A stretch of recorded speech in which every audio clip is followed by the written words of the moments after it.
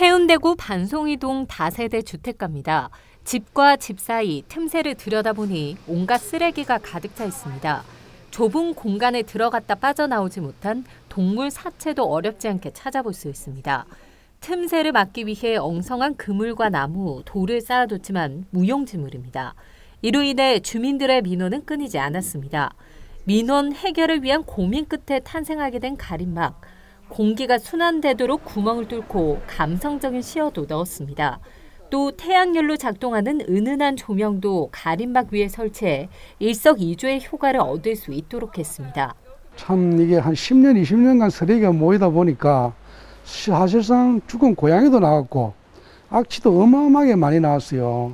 그거를 그래서 이거를 요번에 동사무소에서 이거를 싹 치우면서 가림막을 이렇게 해주신 데서 굉장히 고맙게 생각하고 현재 이 일대에는 190여 개의 가림막이 설치됐는데 여성 안심 귀갓길에도 추가로 설치할 예정입니다.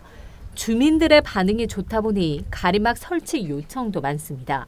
올해는 또 어메니티 사업으로 더 추가적으로 한 50개 정도 할 예정인데 후에 확보되는 대로 저희가 계속 이 사업은 계속 꾸준하게 해서 어, 다른 주민들이 다 해줄 수 있도록 반송이동의 도시 재생 사업이 시작되고 주민들이 내 집 일처럼 직접 마을을 가꿔 보겠다고 의기투합하면서 골목 곳곳에 변화가 찾아왔습니다.